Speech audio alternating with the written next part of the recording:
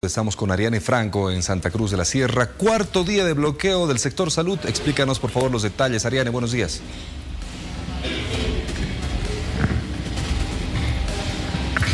Muy buenos días.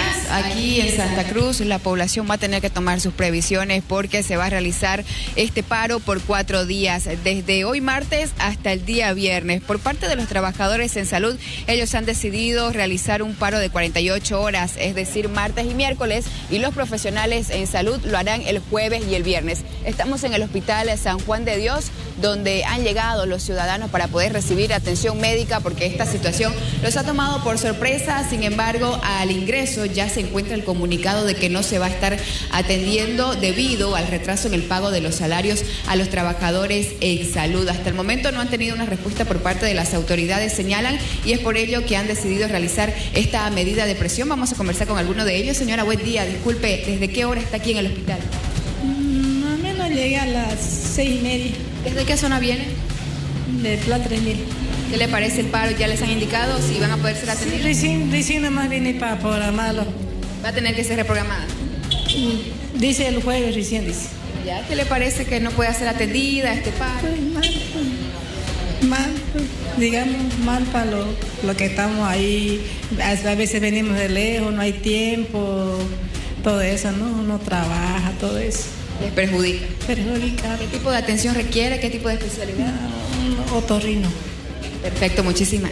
Muchísimas gracias. Parte de la opinión entonces de los ciudadanos. Ellos van a tener que ser reprogramados. Ya este paro ha sido anunciado hasta el viernes. No habrá atención en los hospitales de los tres niveles aquí en Santa Cruz debido a las demandas de los trabajadores. Pago de salarios por parte del municipio y también el pago de los retroactivos por parte de la gobernación. A ver, y veíamos, Ariane, en ese letrero, si podemos mostrarlo, el que está pegado con el pliego petitorio. Retraso en el pago de sueldos del mes de septiembre, dice. Estamos eh, a 14, 15 de octubre. Hace dos semanas ha terminado el mes de septiembre. En prácticamente todas las instituciones demoran unos días, cuando termina el mes, demoran unos días para el pago. Está bien, puede haberse retrasado algunos eh, días. Hay otro letrero en cartulina que está escrito a mano, ahí está precisamente también el pliego petitorio. Se han retrasado unos días, ingresan a un paro departamental. Uno no entiende, con la salud no se juega. Por último, vayan, hagan una protesta en puertas de, recursos humanos, de la alcaldía, de la gobernación, a quien pertenezcan los ítems, ahí está, todos los pliegos petitorios. Y el principal, el retraso en el pago del mes de septiembre.